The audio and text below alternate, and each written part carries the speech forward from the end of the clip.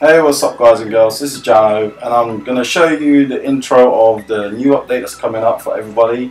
Obviously it's going to be a slow rollout and um, I'm just going to just show you the basic controls of the Buddy Buddy system with this update. Um, as you can see I've already, I've already got my Snorlax on there which I'm going to switch around anyway because I haven't actually done any walking at the moment. But uh, yeah, it's pretty impressive. I mean, you can just see by how big the Snorlax is or whenever you decide to actually choose a different um, Pokemon to put on there. Um, click on the buddy uh, on the buddy icon and you can see everything that you need to do. On the bigger Pokemons, obviously it's 5k. Pretty sure the smaller Pokemons, which you will see in uh, a short while, that it's going to be a 3k um, walk instead of 5, five kilometers. Um, uh, there you go if you decide that you wanted to change while you were doing um, some walking already, you will clearly lose the progress that you've got going on with that certain Pokemon. Um, what else have we got to talk about was this is going on like this. Uh, we're going to switch it up to Ivysaur. Yeah, we're going to go and check out the Ivysaur now and um, switch it up from the Snorlax to Ivysaur just so that you can see what it actually looks or what the big difference is with the bigger Pokemons, which are fully evolved. Obviously Snorlax don't have any more evolution, didn't have any evolution anyway, but we're going to go back to the smaller Pokemon, which is the Ivysaur, so that you can actually see um, the big difference. And I, I'm pretty sure you can tell by now that you can switch whatever, whatever buddy you've got walking around with you. So we're switching over to the buddy system and the Ivysaur should come up. The phone was working a bit slow there because there was a lot of things going on at the same time. And there's the ivy Ivysaur as my buddy walking around the, uh, well not walking around because you can't actually see him walking around with me. But as you can see, it's pretty simple. The, the me mechanisms of the actual uh, buddy system that they're, they're, bringing up on the update um, but it look it does look a lot cooler. It feels a lot better as well, even though I haven't done any actual walking with them yet. From my personal experience, I'm pretty sure a lot of you are already looking forward to this.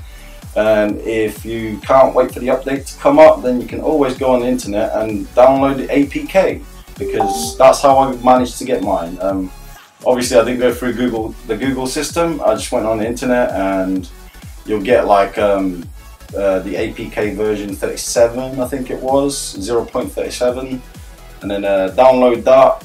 when you go to download it, you'll get the um, you'll get a message saying that um, it's, it's going to be a harmful for your phone or device that you're using, which obviously isn't going to be harmful because it's made by Niantic and uh, they are going to try to screw you over or screw anyone over or mess anyone around.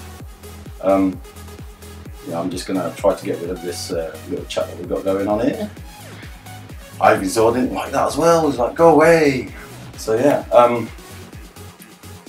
as you can see, you've got the full anima animation of the uh, um, Ivysaur and any of the Pokemons that you put on there.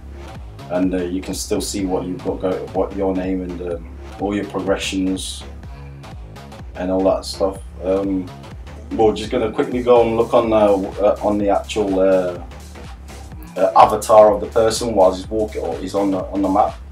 As you can see, you can't see your actual Pokemon next to you walking around as some people probably presume that you would have been able to do. Um,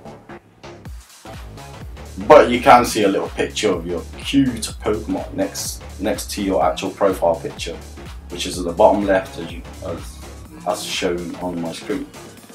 Um, that's pretty much it. I mean, I'm just going to scroll through now and uh, uh, show what other stuff you can do. Also, I'm just going to switch back over to my Snorlax because when I do decide to go for that 5k walk, which I'm pretty sure I'm to be doing either sometime today or tomorrow because uh, work and all that stuff. Plus, I do actually want to chill out and not just constantly be playing Pokemon, even though I would love to. But yes, that's um, responsibilities, everybody, don't forget that.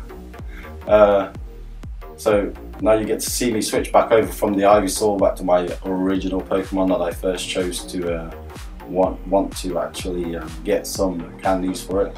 Um, as far as I'm, I'm, aware, you're only getting one ca one candy per um, per 5k walk that you do. I can't see, like I said, I've not actually tested this out fully yet, so I can't see you getting any more than one candy. And I'm pretty sure it's, all, it's also on the update notes that it's only one candy per Pokemon per, per however many kilometers you actually have to walk them.